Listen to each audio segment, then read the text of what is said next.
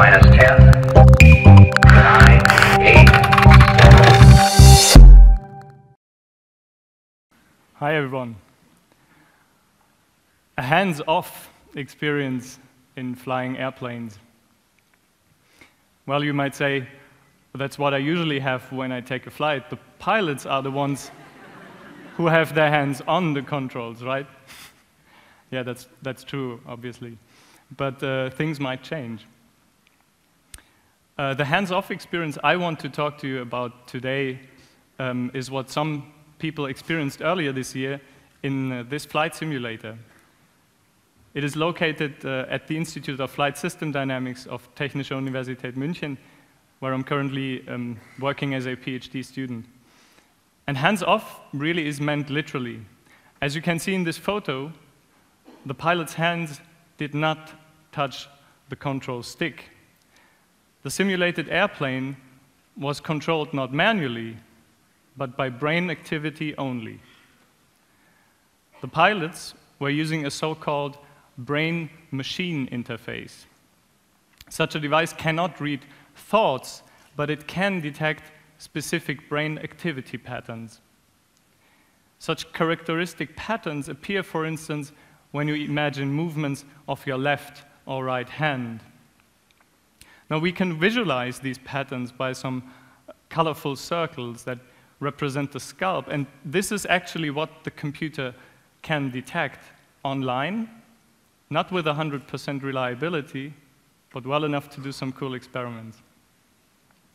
Other researchers have already shown that computer cursors or even quadcopters can be controlled using brain-machine interfaces, but the experiments that we conducted in Munich, together with our partners, um, Team PhyPA of TU Berlin, took place in a highly realistic environment in this flight simulator and also involved highly realistic tasks.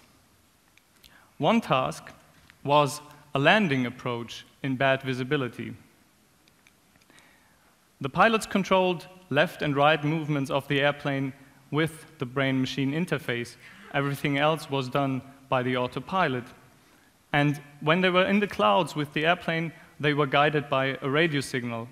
But we altered this radio signal so that when they came out of the clouds, they found them displaced to the left of the runway. And they had to fly a sequence of turns just before touchdown. Now, this was the last task we presented to each pilot, and it was the most difficult one. During our experiments, I shot the following video, and it starts just a few seconds before the aircraft comes out of the clouds. You can see the pilot on the left wearing an EEG cap that is used to measure his brain activity. And he has accomplished this task really well up until now, which is why the aircraft is at the position it should be. It's left to the runway. You can see the runway just on the upper right hand um, of the screen. Um, on the bottom right, you see the control stick as it is moved by the flight control system, following the commands of the pilot. It took some time for him to maneuver the airplane into the right direction, and the aircraft movements are a bit shaky. But he, he succeeds well, and he, he aligns the aircraft with the runway now.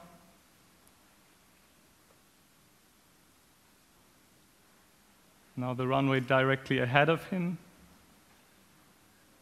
Now he just needs to fly in straight.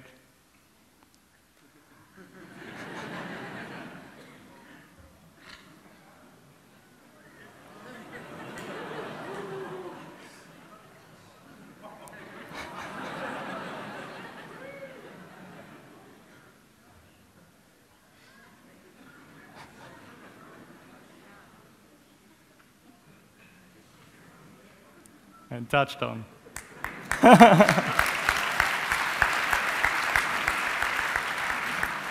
you know, th there's a saying um, every landing you can walk away from safely is a good landing. so uh, this was a good landing. It was, a, it was amazing, and it, it was breathtaking, and it, it still is to me. Uh, I don't want to hide that other pilots did not perform as well, that some um, really only flew in circles, but Um, after, after all um, the, the hard theoretical work, all the preparations leading up to these experiments, witnessing this successful landing approach, this landing, um, made, me, made me really happy. Um, so, where did all this originate from?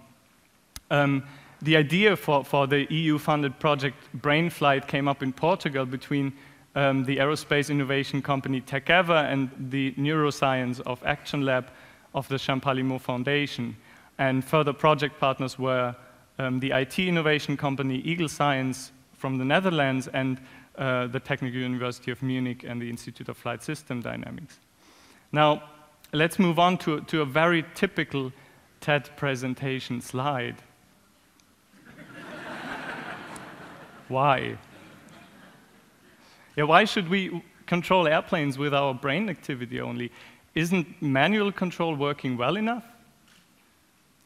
Well, first of all, for manual control, pilots need to be in a good physical condition. With brain control, however, even physically disabled people could fly. So we could enlarge access to aviation.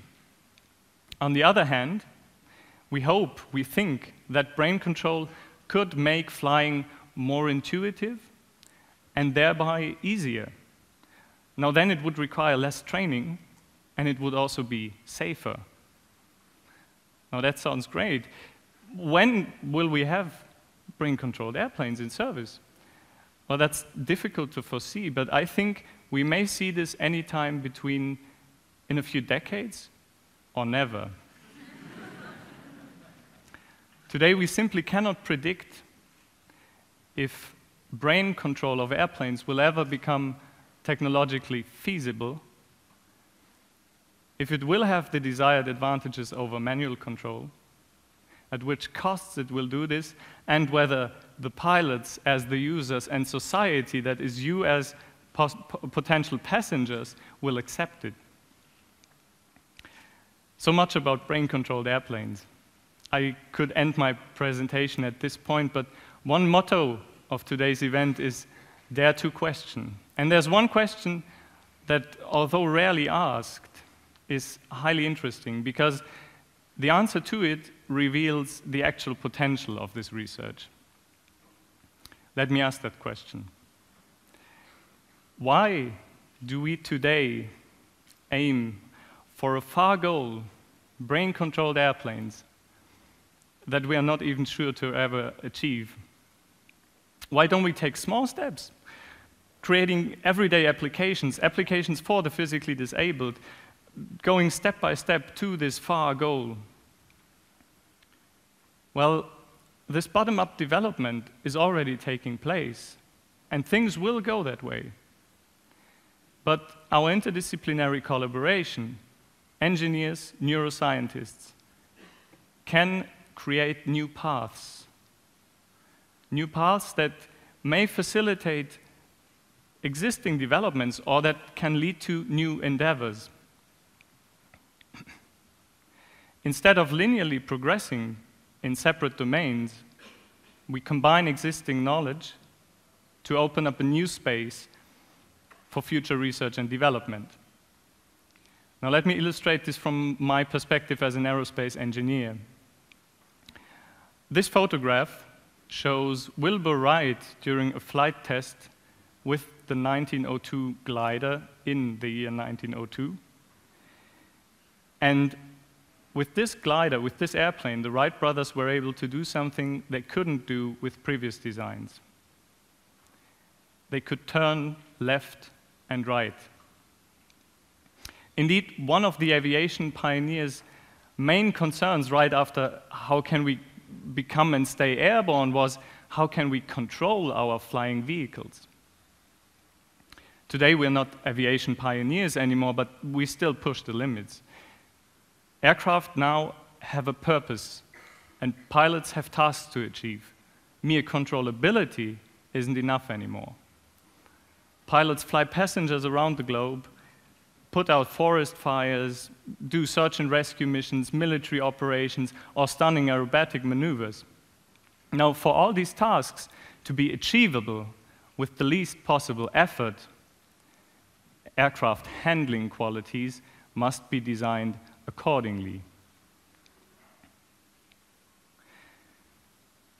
You can compare this to your experience of driving cars.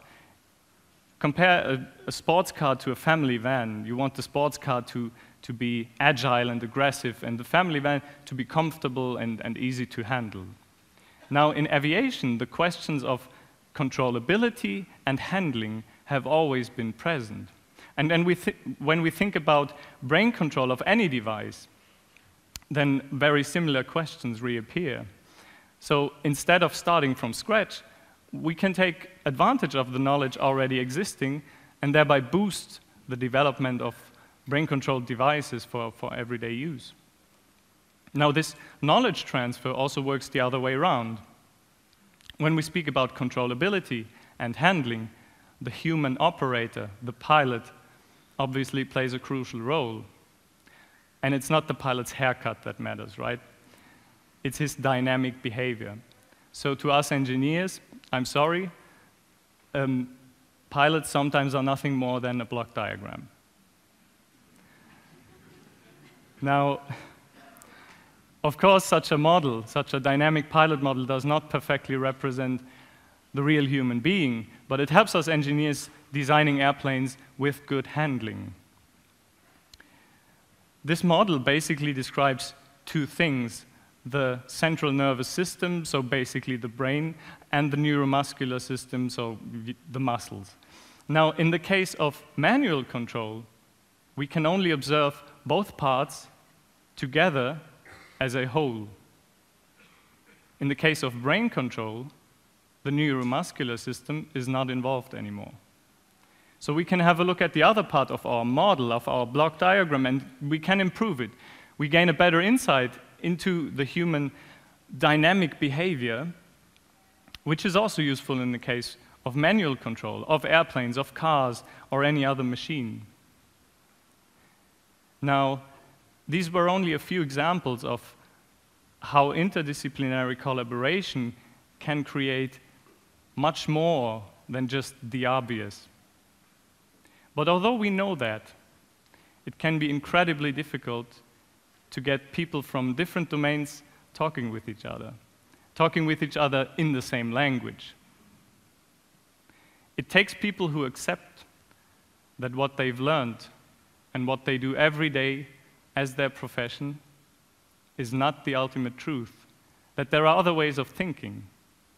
To me, interacting with people who think differently is the key to exciting discoveries, not only in science and engineering, but in our everyday life as well. Thank you.